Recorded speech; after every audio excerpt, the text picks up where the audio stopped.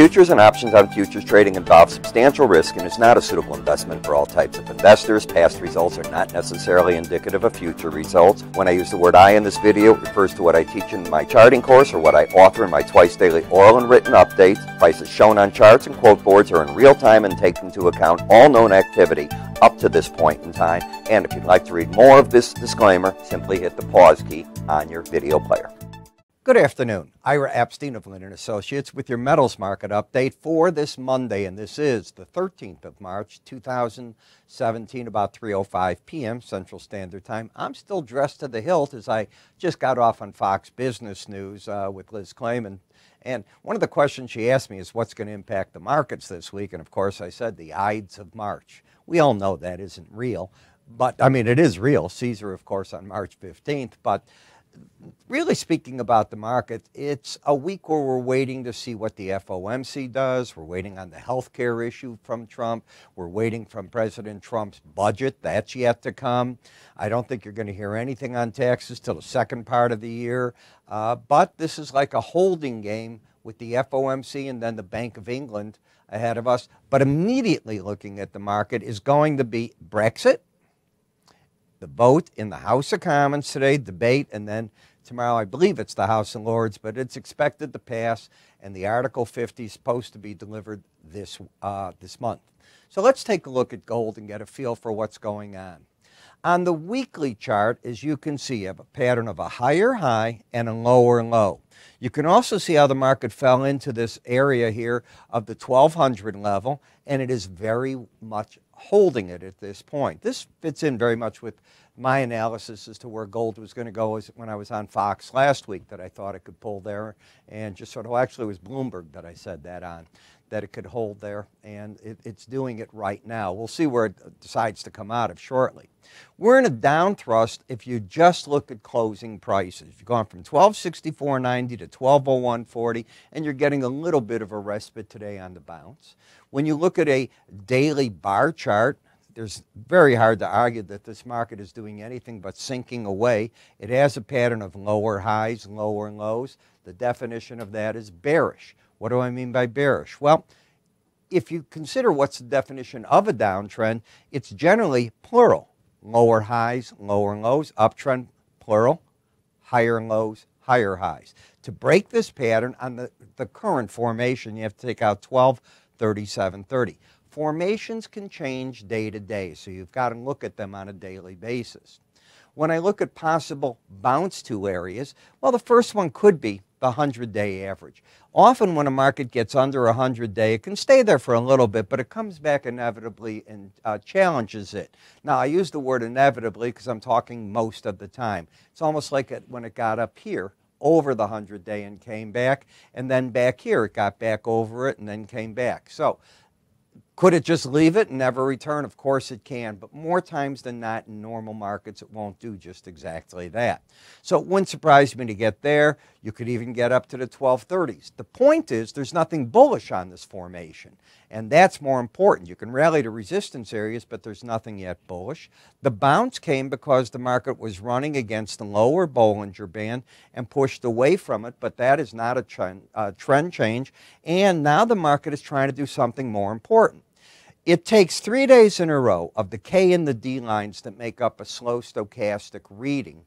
If they can stay under 20, three days in a row, I say they're embedded. Now, embedded could be lost the first day that the red line pops back over 20. And if you, when we go to copper, you'll see it happen right away like that. And it can happen in other markets. But more times than not, once it locks in, it stays locked in for a bit, and that's often accompanied by lower prices because momentum leads price. That's the theory.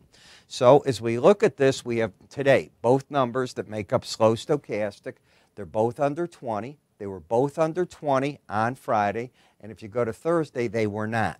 So this means the market tomorrow has to prove if it can bet or not. Right here, it is just very oversold, but in a downtrend with downside bias.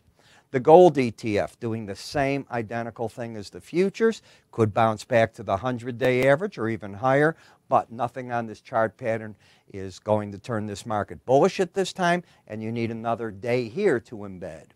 The market that's been leading the way up in gold has been the gold miners, which was riding, and count how many days under the lower Bollinger Band, and then you did what I said. You turned back to the right. Now, if you lose the embedded reading by the red line getting over 20, and it's five points away, that's considered a lot. But if it does it, the overall goal is the closest of the 18 or the 100 day average of closes. So in this case, it would be the 100 but right now, the bears are in total control of the market. The gold silver ratio, as I pointed out a bit back here, when you cross that high, this market is in an upthrust. It's gotten back into key resistance areas of this zone. I seriously doubt it's got the power to get over 72 at this point. So it's probably spent its energy, and I'm look, looking to see what it does next. When you go to the silver chart, like gold, you've got two days in a row under the uh, 20 reading. You need another day. The trend is down, the bias is down. If you rally back first resistance, 100 day average, could even get to the second. So I think it's going to be an important week in these metal markets. In the silver ETF, you at least got to the right hand side of the Bollinger Band. And if we count days under, you got today, you had Friday. Did you have the day before? You did. So this market is an embedded reading, whereas the futures market, if we come here, day one, two, Friday did not embed. So the ETF is slightly leading the futures at this point. I don't know that that's super important or not. Remember I told you about copper? So let's back off copper today and count backwards. On Friday, both numbers are under 20. Both numbers are on 20, under 20 on Wednesday and on Thursday. So Wednesday, Thursday, Friday, and they're lost today. The only time they can be immediately regained is the day after they're lost. Let's assume that doesn't happen. The odds favor price in the 18 day average coming together now. Is there a trend here? There has not been. You've had a pattern of a higher high and a lower low.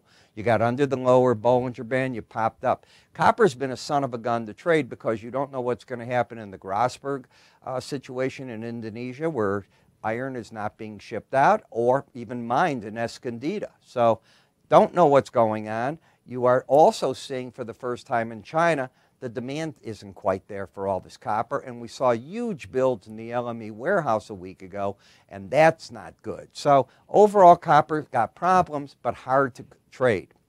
In the platinum market, the market bounced up today, ran into a brick wall. It has a fully embedded reading. You've got lower highs, lower lows. No reason it can't make another run to the lower Bollinger Band. And yes, you have to be aware that you're fighting a market that got under the 100 day uh, average of closes for the first time. So you're there about five, six days. Over the next, I don't know, week or so, I wouldn't be surprised if you ultimately get a rally to try to challenge that. In the palladium market, you've got the pattern of lower highs, lower lows, but very oversold. Nah, nothing to do there. And when you go to the dollar index, as much as everybody's talking a strong dollar, it's not there. The dollar's got lower highs, lower lows on a short term basis. It's under the 18 day average. Therefore, the trend is down, the bias is down, and momentum is still pointing down. So I realize everybody talks on TV, the dollar's super strong. It isn't. Yes, support between the 100 day and the lower Bollinger Band, and resistance are literally right above the market at 101.29. And I realize it. You're going to tell me it's hard to. Uh, not be bullish the dollar with interest rate hikes coming. I'm the first to agree with you, but the chart action is still short term on the bear side. Let's talk about seasonal trades because you got a bunch of them in the month of uh, March now. They're coming one after the other. One of the big ones that just came was natural gas, and look what happened. And the time date was, I believe, March 7th, according to the Moore research. So, what is Moore research? Well, they have a computer database that they go back at, and they, it says if you bought over the past 15 years on such and such date and got out on such and such date, the market is won X period of time. In order to qualify, the market has to have won, I believe it's 13 out of the past 15 years. And the database is always being updated with new trades and dropping trades that didn't work they give you an awful lot of information. And how it works is you call us, you get a two week trial to it. You can go to our website and sign up for it there. They have a very long disclaimer, as rightly so, because at the end of the day, Past performance, even though it comes out of the database, is not a guarantee of what future performance is going to do. But they're going to give you a email, user ID, and password. You're able to come in and look at the different trades, the different reports that they're putting out, and there are reports galore. The trades will look like this buy here, sell, get out on that date, average number of winning days, losing days for both spreads and the markets. Then you're going to get spread outlooks, futures market outlooks, reasons for the seasonals, what they do, and what to be on the lookout for. All these different types of reports. It's something we look at, maybe something you should. Call us, go to our website. You can click right up here if you'd like to do it as well. If you see that icon up there, it means you're watching me off a YouTube uh, video. When you click it, our uh, forms will appear. Fill them out, choose anything else you want, or you can do it on other websites that post us, and underneath it, it says click here. I'm Ira Epstein. You have a great day, and I'll talk to you all uh, tomorrow. Take care now.